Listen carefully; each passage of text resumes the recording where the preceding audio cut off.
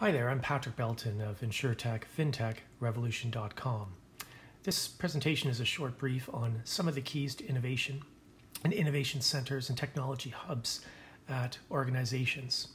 And just we want to discuss a few of the fundamental keys to which a fir- some firms commonly miss the boat on when they are establishing their innovation centers or innovation teams.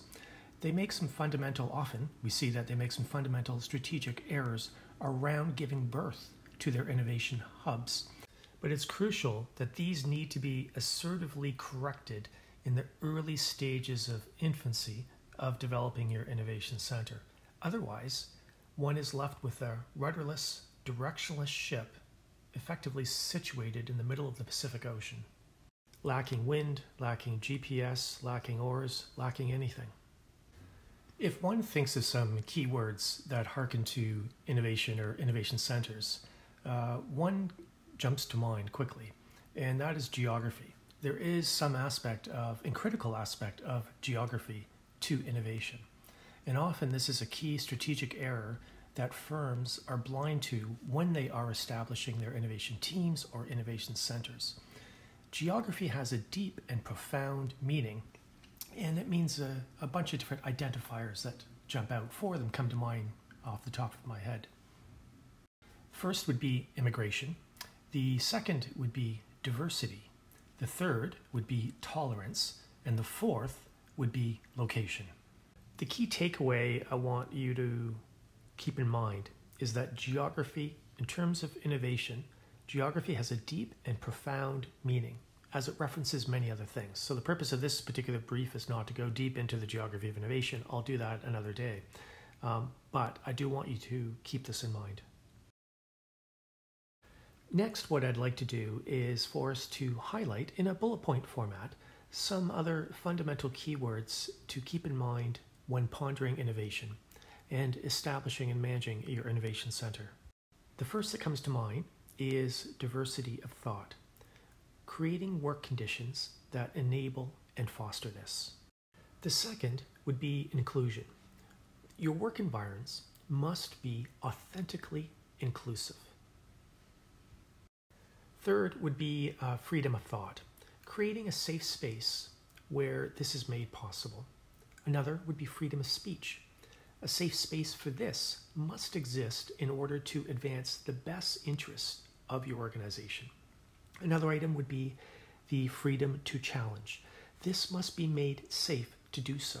Innovation staff must be enabled to challenge not just the way your firm does things, its current orthodoxy, but also be enabled to challenge the way executive leadership and staff think. Another item concerns top down direction from supervisory leadership. This must be avoided as it is stifling to innovation and leads to poor morale and staff turnover. And the next item that I want to mention is um, innovation participants, as I call them, which is an innovation employee. They should not always be strictly led or strictly directed um, or have every one of their tasks or activities or initiatives micromanaged. And that leads into another item, which is micromanagement of employees. Avoid such behavior emanating from supervisory leadership at all costs because this stifles and obstructs innovation and it leads to poor morale and staff turnover. And so let's go into another item that I want to mention on our bullet point list, and that concerns shared learning and discussion. Creating a safe space for this that is built into your work week. Too many firms, organizations, fail to do this within the context of their innovation center. For many of these organizations, what does take place is informal and on the fly, which is okay, but there's no formal sanctioned time for this activity from man- set out by operations management within the context of the Innovation Center work week. And this is, this is a necessity. On the fly is critical, for sure, but so is setting aside that assigned time for debate learning, and discussion throughout the work week. And this naturally leads into another item I want to mention in my bullet point list, and that concerns debate. How can an innovation center be expected to innovate when its members are not debating, are not discussing, are not sharing knowledge.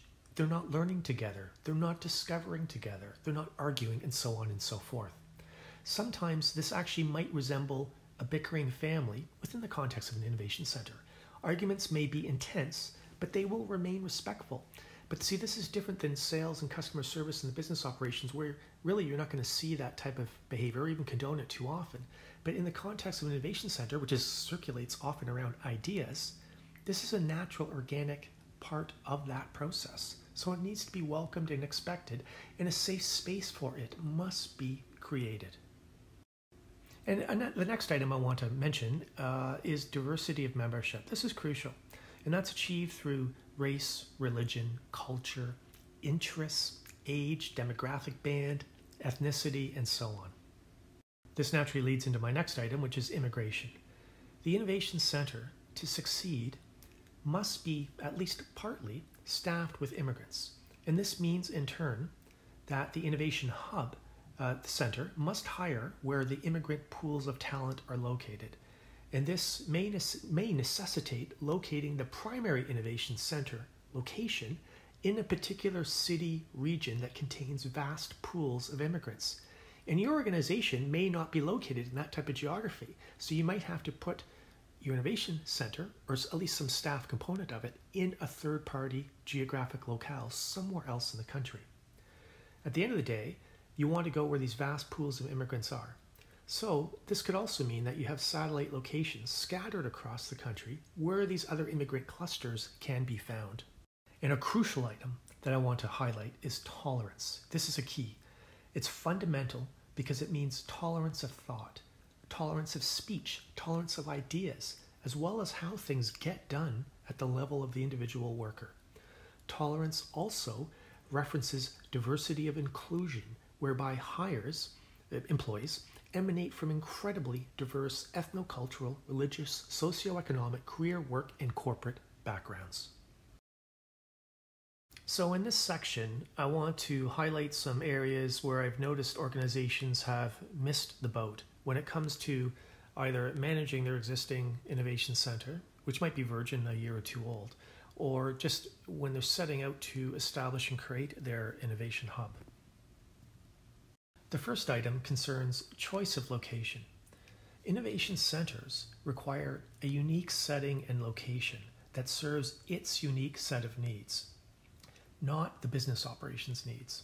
Even though the Innovation Center is established to serve the needs of the business operation, the choice of location doesn't always necessarily line up with where the business ops are located. By placing the Innovation Center in the right physical locale, you're enabling that center to be more enabled to successfully serve the business operations objectives. I have noticed how some organizations have located their innovation center in suburbia.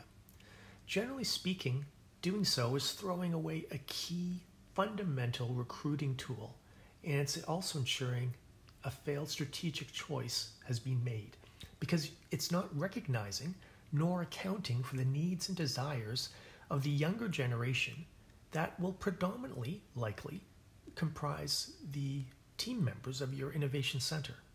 And the, the younger membership I'm referring to, generally speaking under the age of 35, uh, prefers to not own a car, not drive a car to work, take public transit to work, or they like they they'd rather take public transit to work. They'd like to walk to work, which means they want to live in, and work in an urban center, not in suburbia, which necessitates actually buying a car. The next item where some organizations miss the boat regarding their innovation center is the choice of leadership. Business operations and administrative type people, technocratic type people, often, in my view, should not be chosen to lead an innovation center, especially technocrats, especially those types with the human resources backgrounds. That will lead to certain failure in the innovation process as these types of people are good at one thing obstructing and stifling innovation because they lack the skills, critically, they lack the vision, and they often lack the risk taking thought and the subsequent actions that are required to succeed in the innovation process. The third item where organizations miss the boat it concerns choice of design and layout. Innovation centers require a unique physical design and layout to suit their function, their purpose, and their objectives. This also facilitates and enables talent recruitment and retention. It also meets the expectations of the younger generation, which will primarily compose the membership of the Innovation Center. And if I make a, a, another comment uh, in a new bullet point, and it concerns really the insurance industry at large. And I will likely offend many with this uh, comment, but it doesn't mean that I'm wrong. Traditional insurance types are, usually speaking, the worst and the last people on earth who should be making any decision regarding innovation and anything associated with it. Insurance leadership reside in and were raised in an extremely traditional industry, well known for its backwardness. Whereas outsiders, disruptors, and others, uh, individuals who are what I call hybrids with holistic professional educational backgrounds, those types are better suited to lead innovation centers. A hybrid person is someone who has worked in the insurance industry, perhaps, in different insurance roles, but they've also pursued some other business interests outside of the insurance industry. Thereby, they hold a more holistic, all encompassing view of the world and view of society. So that's, that's the end of this uh, short brief on some of the keys to innovation from Patrick Belton at InsurTechFintechRevolution.com.